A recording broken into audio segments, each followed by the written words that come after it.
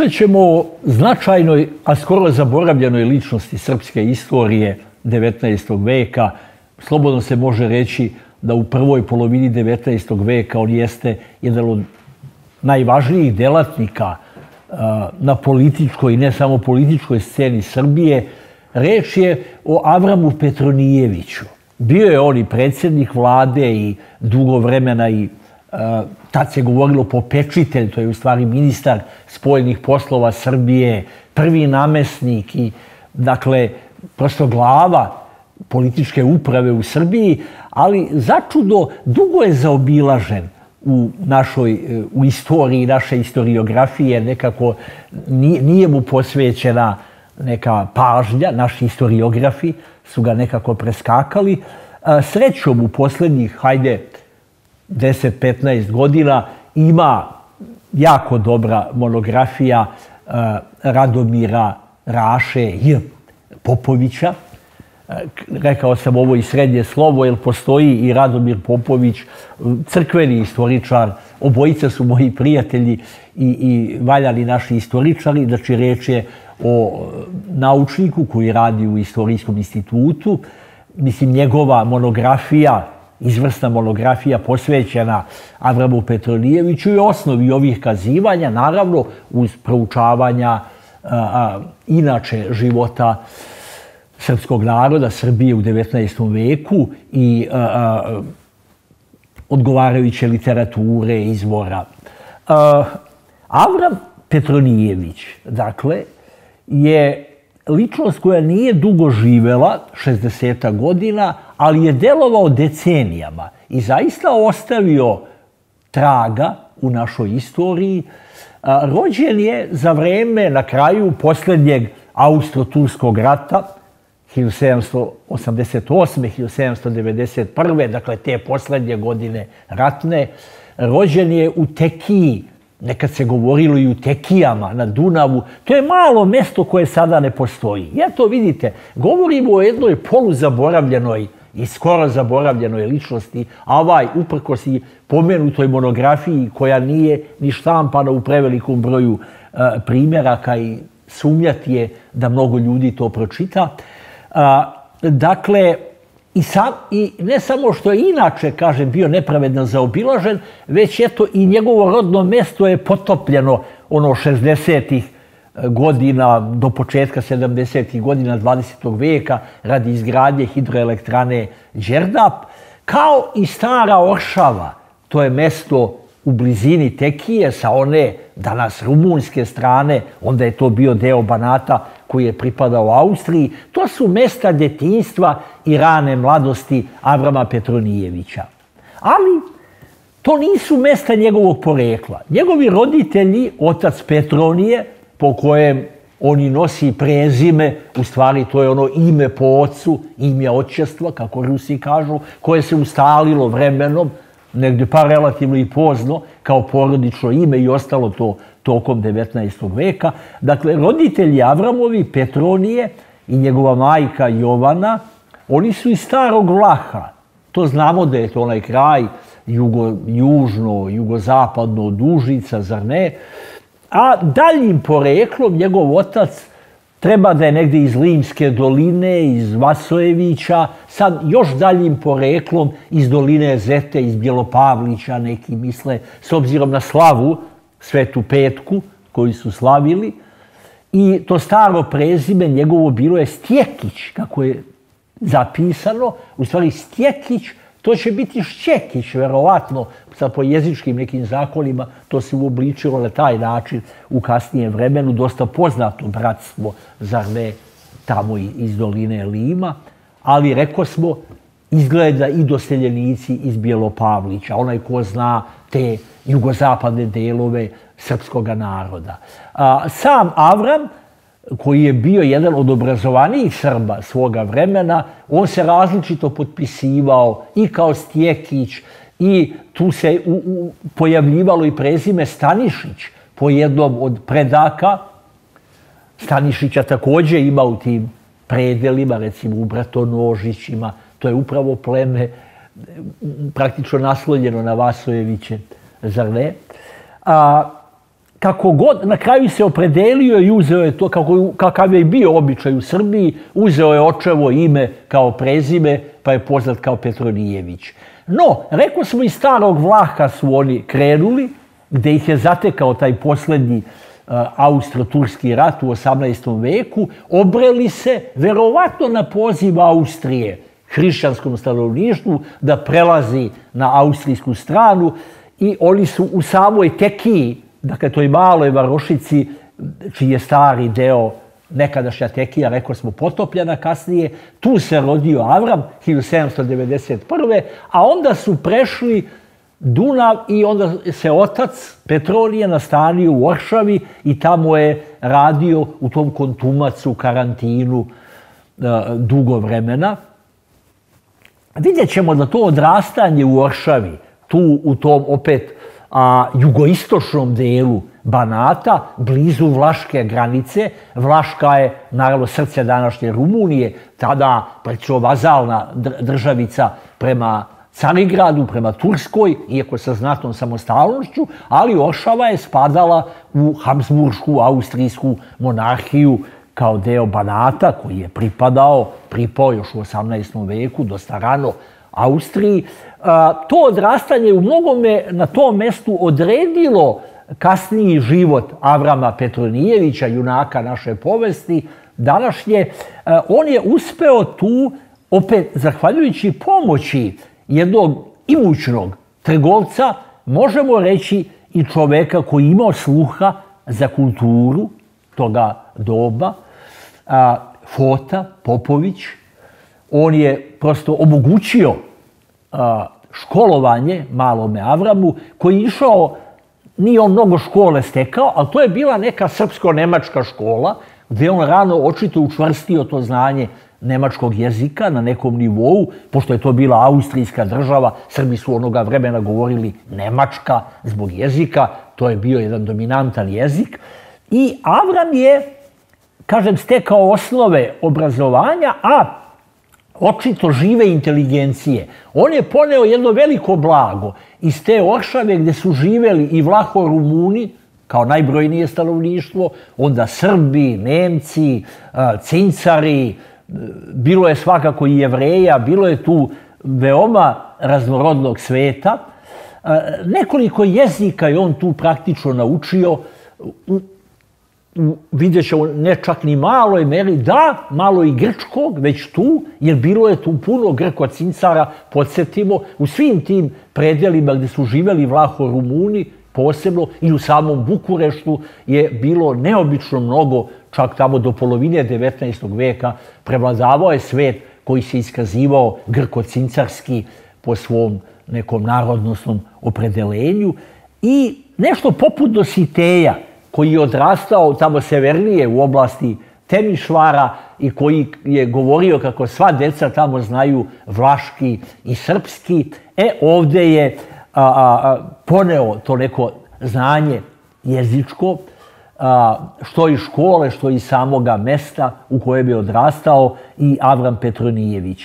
Mi ne znamo mnogo o njegovoj ranoj mladosti, on će nama biti mnogo poznatiji tek od 1817 kada je prešao u Srbiju, dakle on je tada imao 26 godina, međutim on je tad, ta, tada on je došao u Srbiju, kažem, sa znanjem tih jezika i to je veoma zapaženo. Uh, radio je jedno vreme za uglednu srpsku, možemo slobodno reći, porodicu Demelić, koja je imala i plemički status tu u Banatu.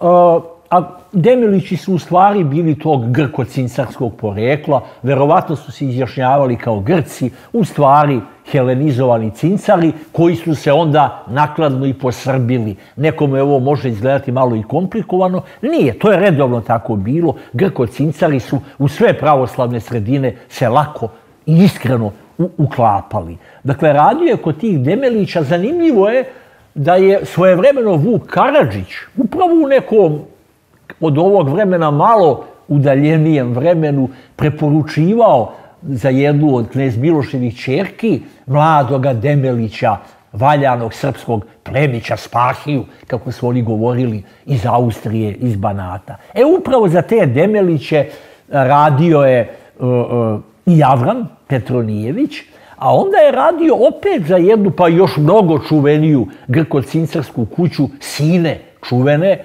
čije glavno sedište već bilo u Beču, u glavnom gradu Carevine, i za njih je on u jednoj njihovoj ispostavi, filijali, što bi rekli, u Trstu radio, gde je opet usavršio italijanski.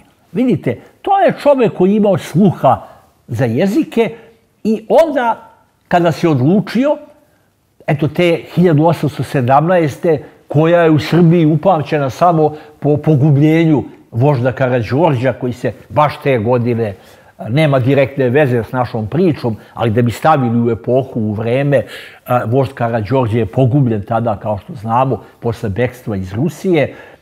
Dolazi i Avram Petronijević, prelazi vrlo svesno sada iz Oršave, iz Banata. On se tamo bio zadužio u kraju u kojem je odrastao, bavio se on malo nekom posredničkom trgovinom i smatrao je da će nekako u Srbiji, koja je lagano izrastala, u suštini radi se o Srbima Beogradskog pašaluka, još nema ni autonomne kneževine Srbije, e među tim Srbima Beogradskog pašaluka, on je eh, gdje izrasta uloga kneza Miloša kao nekog vrsta zastupnika vrhovnog kneza Srba u Beogradskom pašaluku, da on tu e, svoju trgovinu razvije i nastavi. Međutim, vrlo brzo se rastao sa tim svojim snovima, rasplinuli su se ti njegovi snovi, on je došao bez kapitala početnog, more ga dugovi, opterećuju ga dugovi, a u samoj Srbiji je trgovina monopolisana od strane kneza Miloša i njegovih ortaka i prijatelja. Dakle, nije tu bilo prostora za razvoj neke delatnosti.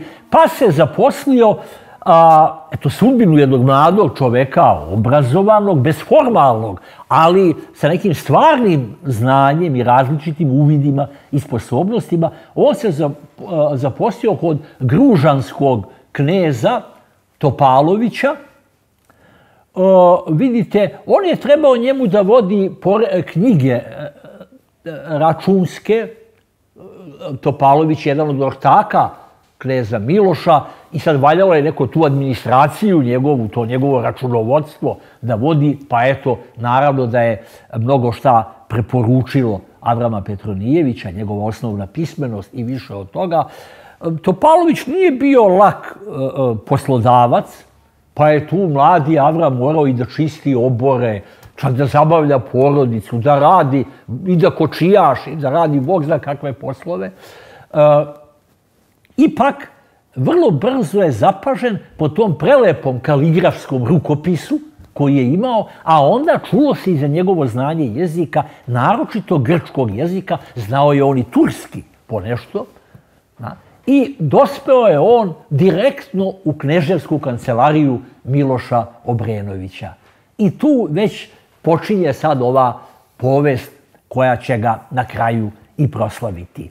E, on je u početku, kako bih rekao, jedan od pisara, kasnije jedan od sekretara na kneza Miloša, jer je zaista zapažen po tim svojim, po tom svom u svakom vremenu, znate, čovjek koji govori od prilike nekih šest jezika, svuda bi morao biti zapažen i knezi su trebali, naravno, takvi ljudi. Nemojmo misliti, knez Miloš je i prema njemu bio, naravno, onako na patrijarhalan način, pa čak i preterano Miloševski, grub i tako, govorio je za njega moj vočić, pazite, voj, to, to mu je on valjda tepao, jel? Ali bio je i pažljiv prema njemu. On je njega uskoro i oženio, Mada sad, da li je Avram bio oduševljen izabranicom, ne znamo. Ali njegova izabranica nije bila oduševljena njime. Zašto? On dolazi iz onih preko Dunavskih krajeva i odmah je u Srbiji prepoznat kao švaba, kako se govorilo, a pritome je nosio i odjeću po-evropski, onako pantalone, u Srbiji se još nosilo ono orijentalno delo, tako da udati se za švabu smatralo se nekako nepopularnim, jel'? Kako god bilo, i knez Miloš ga je naselio u Jagodini. Pazite, u vrijeme kada dolazi Avram Petronijević, kneževa kancelarija je u selu Gornja Crnuća. Takav je bio položaj te tek nastajuće administracije knez Miloševe. Naredne 818. prešlo se u Kragujevac, mali, mali Kragujevac od par hiljada stanovnika. Ne trebamo neku ozbiljnu varoš da zamišljamo, ali ipak bio je to napredak u odnosu na Crnuću. I kancelarija je bila praktično u konaku u kući kneza Miloša. Sve je to bilo pod istim krovom. Vreme, vreme se ubrzano, da kaže, menjalo, umnožavali se poslovi i zadaci a, Avrama Petronijevića. Bilo je tu još nekoliko važnijih sekretara, pre svega to je, zar ne, Dimitrije Davidović, također došljak iz Preka, tu je Teodorović, tu je, sad da ne nabrajamo sve, bilo ih je. E, ko, mogao on tu da čuje i priče kako se valja ponašati i kako ne valja kneza izazivati. Jer neki od tih pisara i kasnije sekretara knez Miloševih loše su prošli. Pa recimo veoma markantni, smatralo se po mjerilima onog vremena veoma lepi, Aleksa Popovski bio je ubijen po kneževoj naredbi, jel se smatralo da je on uspostavio neku vrstu veze sa kneževom čerkom. Zamislite, on da se udvara kneževoj čerki. To naravno nije izašlo na dobro. Sad prelazimo na jednu značajniju deonicu u Avramovom životu, a to je 1820. već.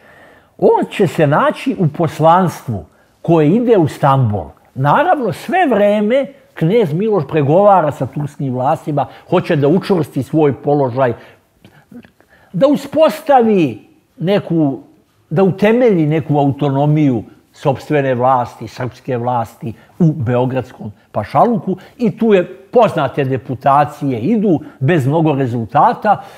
Najzad odlazi ta velika deputacija i njoj posvećujemo eto, izvesnu pažnju jer je Avram u njoj, opet zbog znanja jezika, najzad Vičan, kao čovek iz Kneževe kancelarije. Tu deputaciju inače predvodi Vujica Vulićević, poznati Vujica Vulićević, vojvoda iz prvog srpskog ustanka, sada je praktično pod vlašću kneza Miloša, opet lokalno značajan, iskusan a, Njegov brat Đuša Vulićević bio jedan od pokretača ustanka 804. u Srbiji. On je praktično nasledio brata. I vidite, ova deputacija će biti loše sreće. A, oni će se zateći onda kada izbije veliki grčki ustanak. 821.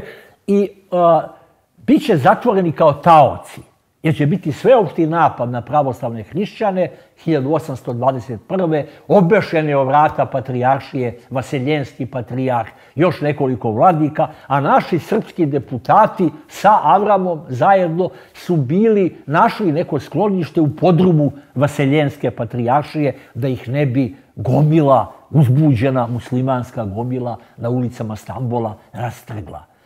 I tako će on, ne baš u tom podrumu, ali u tom talačkom zatočeništvu provesti narednih pet godina.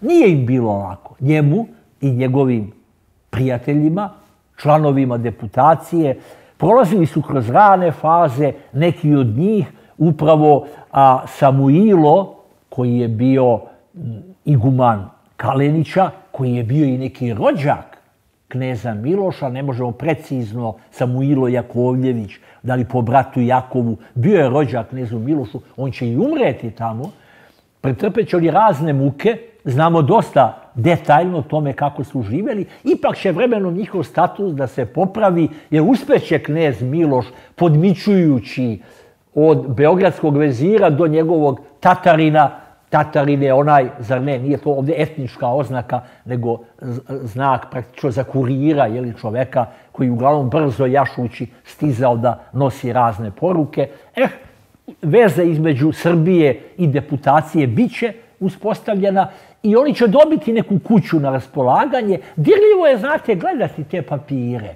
to, kako su oni provodili vreme. Avram, knjigoljubac, knjigoljub, naukoljub, kako ga nazivaju, koristio ovo vreme da usavrši svoj grčki. Toliko ga je usavršio da su Grci sami kasnije nisu mu verovali da on nije Grk.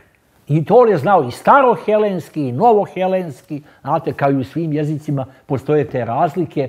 gledao je nešto od istorije da čita. Postojali su već neki slavijansko-grčki rečnici. To je u stvari, to nije rečnik, naravno, našeg današnjeg književnog jezika i grčkog, nego onog srpsko-slovenskog koji je tada vladao. Kako god.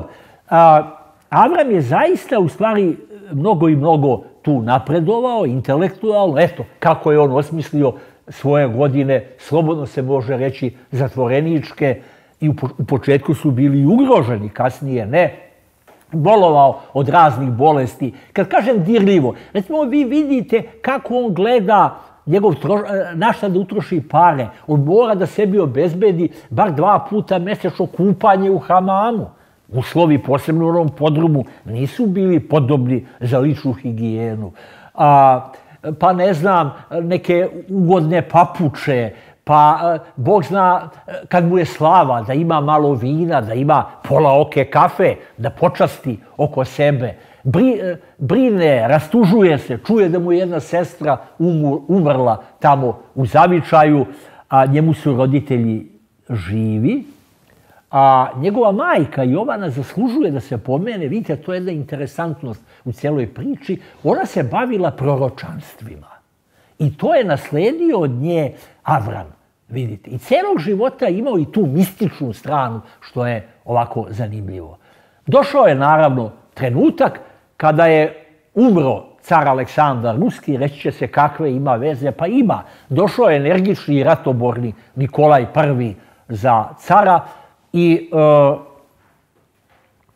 trebalo je nešto menjati, trebalo je pokazati dobru volju prema Rusima i njihovim štićenicima Srbima i Avram je pušten da se vrati u Srbiju.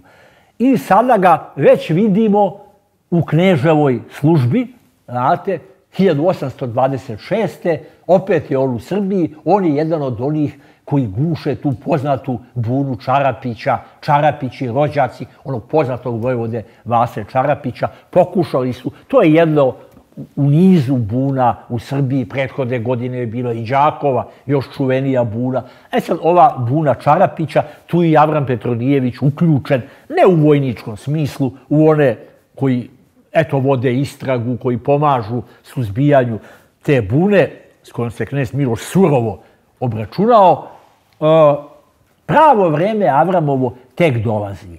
A ono je u stvari počelo sa 828. 29.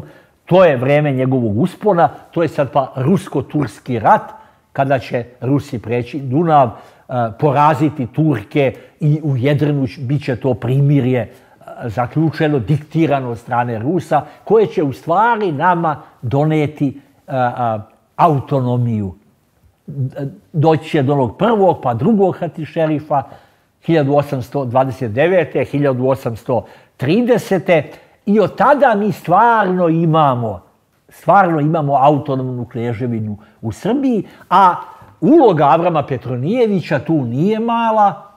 On je bio, proveo tada dugo i dugo vremena u, baš u, već u vojnom logoru ruskom, pored Jedrena, kod poznatog generala Dibića. Zanimljivo je da je taj Dibić bio u stvari nekog poreklom lužički srbin.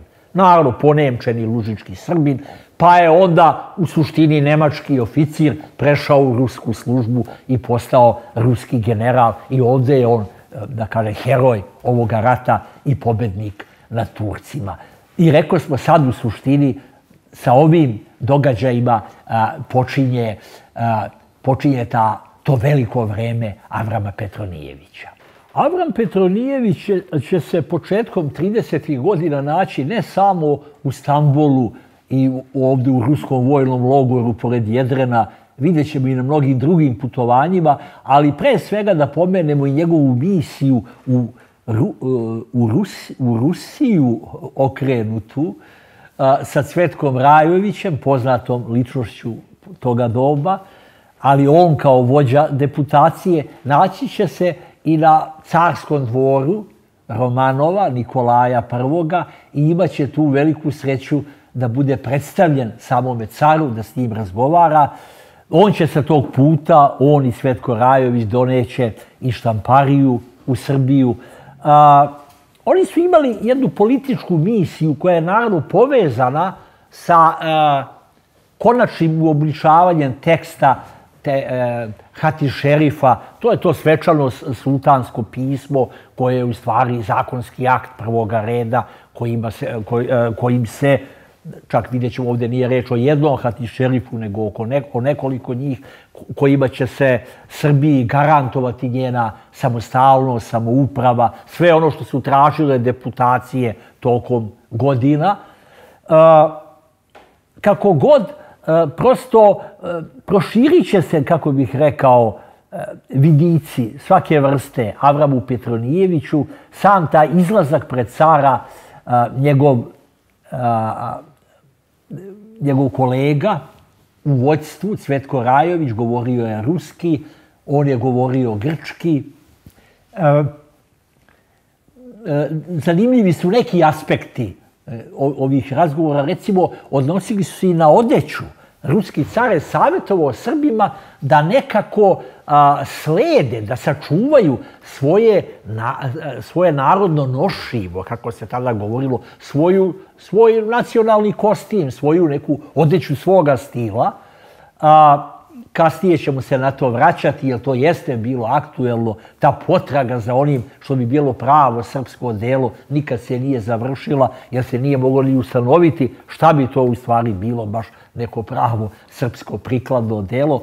U stvari će se slediti neki evropski uzori, uključivo i ruske uzore. Tih 30. godina Avram Petronijević je da opet predvodi deputaciju kada se ceo posao oko učvršćivanja srpske autonomije i jedne tačke koja je tu bila neobično važna, a to je davanje naslednog prava knezu Milošu, dakle, naslednog, da, da, bude, da to ne bude samo nešto lično, titule kneza Srbije, poglavara vlasti u Srbiji, u celom Osmanskom carstvu koje je bilo trošno i tada u dosta slabom stanju, ali ogromno, samo su vladari Tunisa bi imali zavisni od Osmanskog sultana, vazalni, samo su oni imali tu naslednost. Da se shvati, to nije nešto kako je nekad tumačeno, što bi bilo, kako bih rekao, bitno za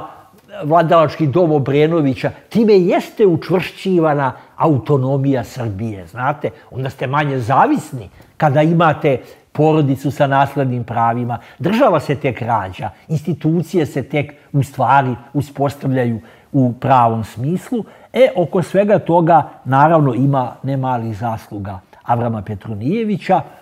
Uh, Sad je valjalo zahvaliti kada je završen hati šerifom 1833. kažem, to stanje negde definisano e, i Srbija stekla priličan stepen samouprave, državna granica je uspostavljena, obeležena na vidljiv način, šančevima, humkama, tačkama prelaza, Znate, to je sad zaista bila u... i to je ona teritorija, ne Beogradski pašaluk, nego teritorija koju je imala Srbija u vreme e, e, oružanog dela nacionalne revolucije prvog srpskog ustanka. I sad jeste zanimljivo, Avram Petronijević vodi sada tu deputaciju koja treba se, to izaslanstvo koje treba da se zahvali i vode hilja, teraju, gone hiljadu volova na na poklon sultanu. Tako da je u njegovoj, uslovno rečeno, deputaciji najviše bilo čobana. Putuje se mjesec dana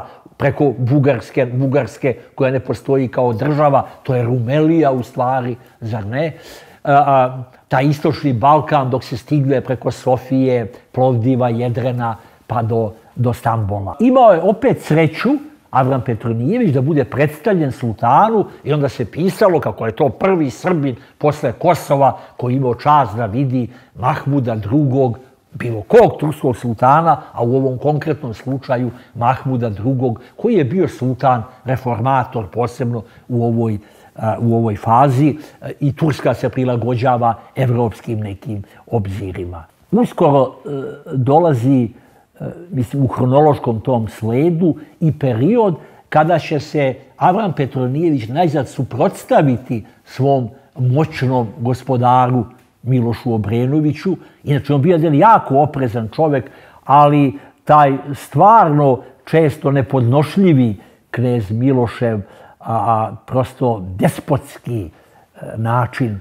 vladanja izazvo je kod većine starešina, pa i u samoj knez Miloševoj porodici dosta nezadovoljstva i onda će u, u vezi sa onom uh, poznatom uh, uh, sretenskom bunom, sretenskim ustankom, zar ne, uh, praktično uh, knez, Milo, knez uh, Miletina u stvari buna, jel da, a sretenski je, sretenski je ustav, da, da, da se ovdje ispravim, jel da, knez, poznat u istoriji kao knez Miletina Buna, eh, na početku 1835. godine, kada je eh, o Svetom Savi odložena zakazana skupština i starešine izgubile strpljenje i u toj zaveri iz koje će se izroditi pod vođstvom Rasinskog serdara, kneza Mileta Radojkovića i Buna, pa onda iz nje proisteći i Sretenska skupština i Sretenski ustav,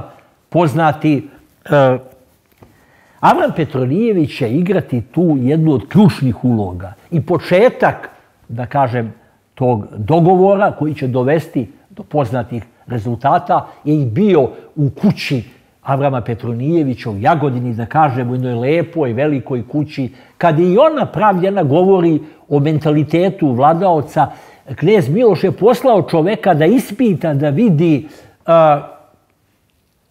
da vidi kakva je ta kuća, da nije ona prevelika. E, e, Knez Miloš je krajnje ljubomorno, očito veoma nesiguran u samog sebe, surevnjiv prema bilo kome ko bi se u nečemu s njim izjednačio, pa je tako preporučio I to je bila ono obavezujuća preporuka i Avrama Petronijevića kad je nabavljao kola, karuce, da to nikako ne bude raskošnije od njegovih. Ne sme niko preko onoga što ima knez.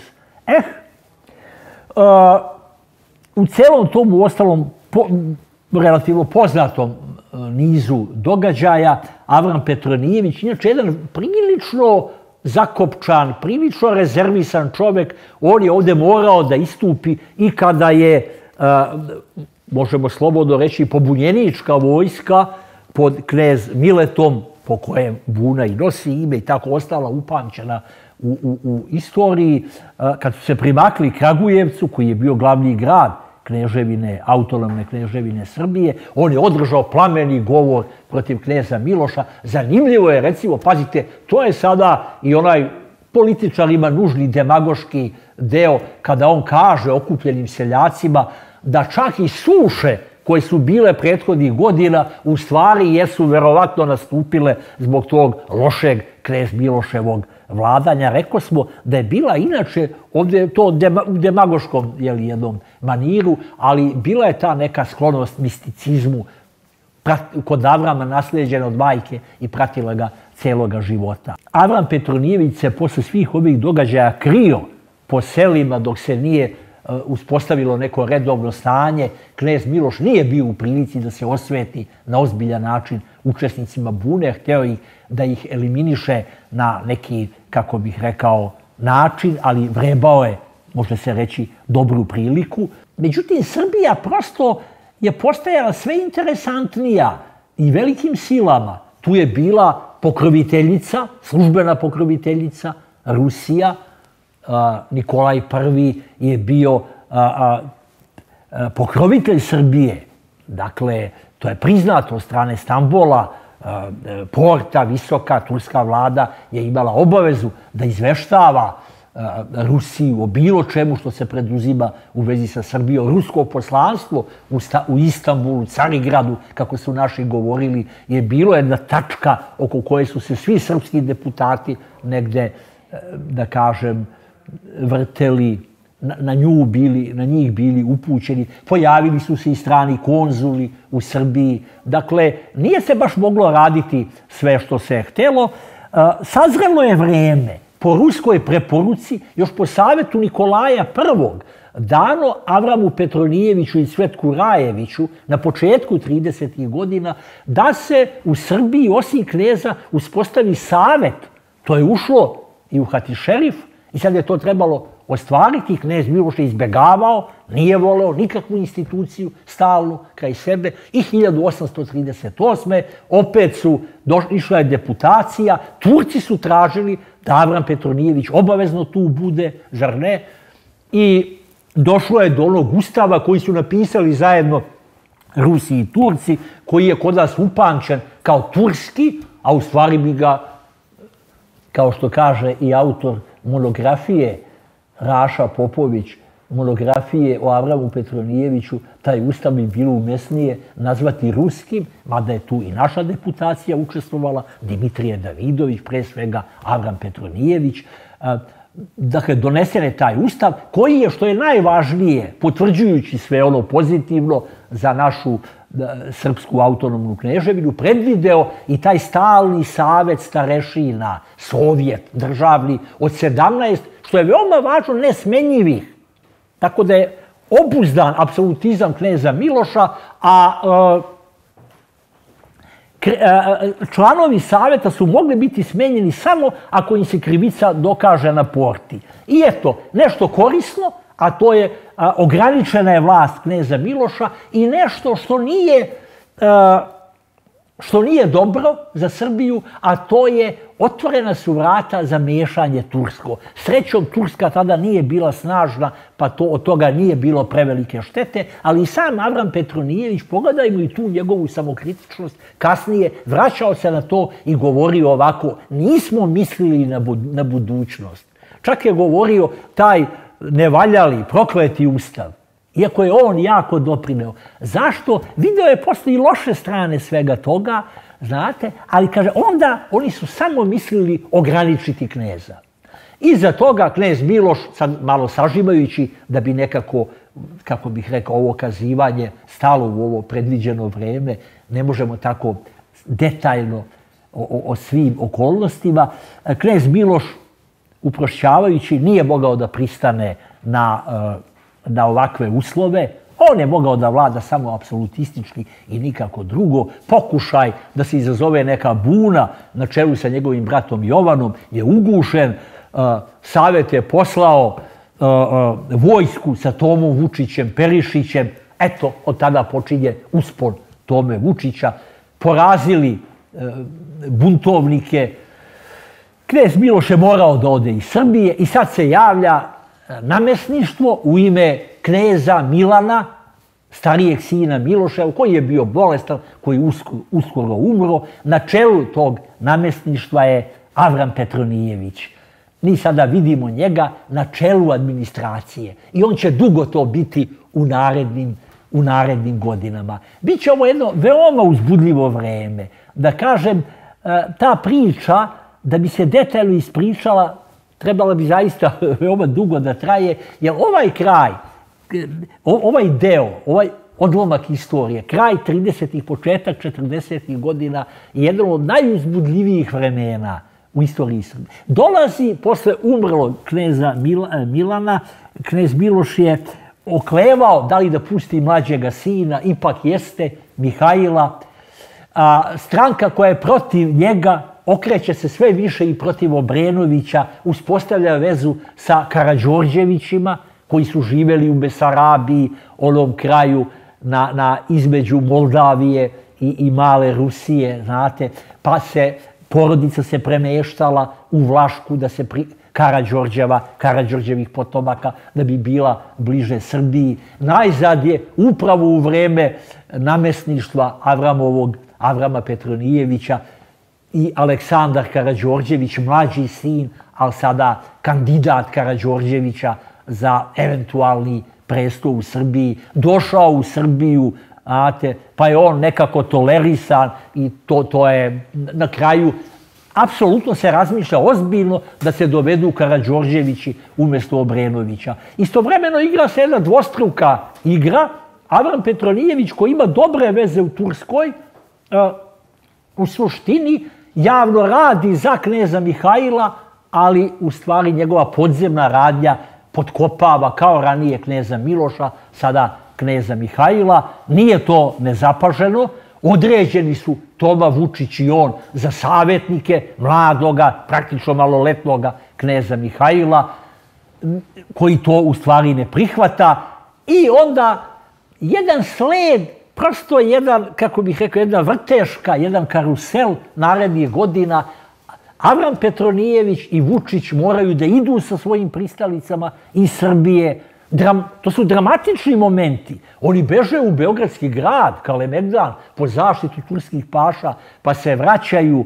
A, najzad, 1842. jedna velika deonica, poznata Vučićeva buna, a, Toma Vučić-Perišić, pređe iz Banata, jel da, u, u, u, iz Austrije, dospe do Kragujevca, tamo uspe da zapleni topove, porazi kneza Mihajla vojsku. Znate, te slike su onako nekada i tragikomične. E, e, e rasuta kneževa vojska beži pred e, Eh, buntovnicima i zapaženo je, neki su toliko uhvaćeni su očito u nekom raskoraku, pa su pekli neko meso na roštiljima i beže sa tim roštiljima koje su oslonili o rame. Bilo kako bilo, knez Mihajlo pobegne u Austriju, Zemun, pa dalje, i sada su na čelu privremene vlade, koga vidimo? Opet Avrama Petronijevića. I vidite, čovjek se čudi, neko ko je bio baš prvi, pa prvi namestnik, pa predsjednik vlade, da je mogao tako dugo biti zanemaren, zaboravljen. Radilo se o tome što je smatralo se on vodio e, turkofilsku politiku. U stvari, pazite, Njemu je to jako zamerano. On je i kasnije, kada su kao rezultat bune izvikali na vračaru kneza Aleksandra, Aleksandra Karađorđevića za kneza, a u suštini su Vučić i Petronijević, Vučić kao predvoditelj naroda, a Avram Petronijević kao predsjednik vlade, to se govorilo privremenog pravlenija, pravlenija, to je po ruskom a, da, uzoru. A, Avram Petronijević je kasnije, kažu, uvek savjetovo kneza Aleksandra, koji će ostati punih 16 godina na e, knez srpski, da po dolasku paše su se smenjivale turske, jel, jel tako, Turci drže tvrđave u Srbiji, prisutni su, Srbija je ipak vazal turski, da prvo srpski knez ide na neki način u posetu na podvorenje tom paši, to je kasnije jako zamerano Avramu Petronijeviću. On je dugo boraveći i u Stambolu, imajući kontakte sa Turcima, znate, on je stekao i neke manire istošnjačke. Govorio je dobro taj jezik, sedeo prekrštenih nogu, pušio je na čibuk, znate, čibukom. Tako da se smatralo da je on turkofil. On je bio valjan Srbin, ali on je smatrao da, da je jedino tako nekako, znate, Srbija tu stešnjena između dve imperije, Turske i Austrijske, da jedino tako nekom veštom politikom može da održi e, e, svoju neku samostalnost i da proširi. Došlo je to vreme vladavine ustavobranitelja, kako se kaže, a, vra, e, vreme kada je trebalo da počiva vlast na zakonitosti, a ne na samovolji nekog vladara, znate, i gde je u stvari uspostavljen jedan oligarhijski režim, nažalost, a ne ono o čemu su neki maštali, važnost činovništva, donesen je kao najveća tekovina građanski zakonik 1844. Naravno, učeni i uticajni Srbi iz Preka, Jovan Hadžić, da ga pomenemo, te 1844. A, zanimljivi su mnogi aspekti ovog razdoblja zaista se tada i neki putevi solidniji prave u Srbiji. Poštanska služba, recimo, se uspostavlja u ozbiljnijem vidu. E, sudovi, to je jedna od obsesija u samobraniteljskog režima, znate. E, da se, da se, iako je to bilo e, teško uspostaviti, kadar je bio nedovoljno izdignut. Mi imamo sa druge strane, recimo, od sudije toga vremena, pa kasnije šta je on sve bio u Srbiji, premijer Nikole Kristića, mi imamo saznanja da je u sudovima srpskim, polovinom 19. veka, bilo i nepismenih, jako malo pravnika, znate. Bilo kako bilo, postavljeni su temelji, temelji nekog e, administrativnog i nekog uopšte državnog života Srbije toga doba. E, Uloga Avrama Petronijevića nije mala. On je, on je praktično, eto, i jedan, možda i prvi srpski industrijalac, neuspešno. On je pokušao da napravi fabriku stakla u njegovoj Jagodini, dovozio je majstore iz Austrije, znate, e, Čehe, Nemce, to je bilo nerentabilno sasvim i propalo je. Propalo je to njegovo. Uopšte njegove inicijative na privrednom planu nisu bile uspešne i nisu bile srećne. Tek 80. godina 19. veka u Srbiji će se staklo a, a, proizvoditi, do tada se uvozilo iz Austrije. E, ali ipak treba zabeležiti sve te inicijative. Na drugoj strani, pazite, mi vidimo administratora, vidimo diplomatu, malo je ovdje o tome govoreno, u kojim je on sve misijama bio, znate, pa i po Balkanu, koje kuda, od Bitolja do, do Sarajeva, do kontakata sa Skadarskim pašom. I tako, vidjeli smo Petrograd, Stambol, nekoliko audi, audijencija i tako. Na raznim poljima, istovremeno, to je čovjek koji je u dubini duše i mistik. Znate? On knezu Milošu piše kako po proročanstvima, ne znam, neki paša tamo neće još dugo ostati na svom položaju. Teško je to spojiti sve nekako, da to sve postoji u jednoj ličnosti. Njegovo zdravlje je popuštalo, znate, i on je najzad, onako bolestan, otišao u Stambol, vidjet ćemo da je to njegov kraj. Ipak ne bi trebalo preskočiti ni njegovu ulogu u velikoj buni Srba u Austriji 1848. kada je on, naravno, i ne samo on, uticao bitno da se pomogne Srbima u toj buni. To je jedna posebna, ovako, kako bih rekao, ne možemo ulaziti u sve u sve nijanse, ali da je pomagao patrijarhu Rajačiću, da je pomagao, prelazio ju Zemun.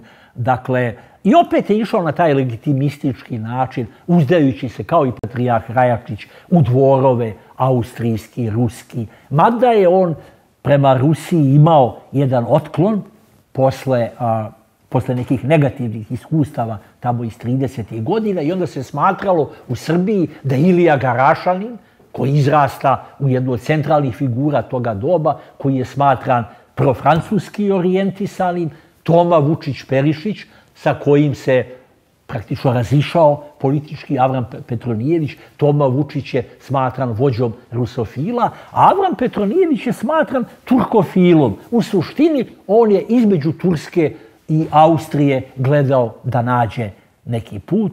Reko smo, uh, Udaljio se on od poslova Srba u Vojvodini, uh, prepustio je to uh, Iliji Garašaninu. Nije bilo dovoljno među ustavobraniteljskim prvacima ni dovoljno sloge, ni dovoljno iskrenosti. Pomalo su radili svaki za sebe, jedan drugog nisu obaveštavali o svemu. Avram Petronijević će naći svoj kraj u Stambolu, u Carigradu, relativno iznenada, iako je bio bolestan, umreće aprila 1852. u njegovoj 61. godini. Ostavio je dva sina iza sebe, veoma obrazovana, sa diplomama iz Heidelberga. Vidite, to je sad među tim prvim generacijama ozbiljno obrazovanih ljudi, njegove, svoje silove od malena upućivao na učenje jezika. Posebno njegov mlađi sin Milan Petronijević bit će istaknuti diplomata, oženit će se e, čerkom kneza Aleksandra Kleopatrom, koja je, nažalost, rano preminula. E, unuk Avrama Petronijevića je bio sekretar posljednjeg Obrenovića, bio nešto i hapšen posle 1903. tada je izgubljen veliki deo arhive. Vidite, to je kroz istoriju porodice koja je postala jedna od najuglednijih, povezana sa drugima i kumstvom i rođa, srodništvom. U suštini, taj muški deo će najzad nestati krajem 20. godina.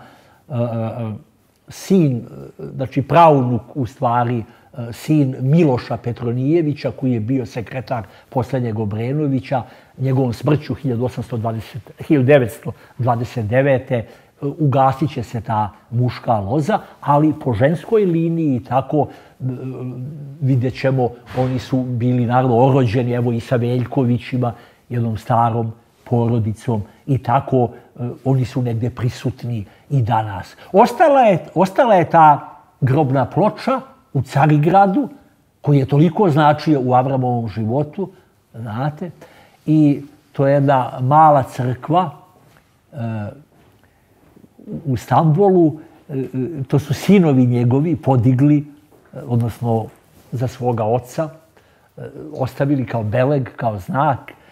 E, među istoričarima je to ime uvek privlačilo pažnju, ali eto možda je prilika da se podsjetimo, kao što vidimo, jednog prebogatog, u suštini, prebogatog života i e, pratila ga je prilična slava, znate, prilična slava u onom vremenu, recimo sredinom u drugoj polovini 19. veka, pa se recimo e, brat Jaše Ignjatovića, poznatog našeg pisca, inače veliki beležnik budimski, on se sahranio, mislim, sahranjen je, jel da po njegovoj oporuci sa fesom Avrama Petronijevića, kažu da je bio prevelik za njegovu glavu.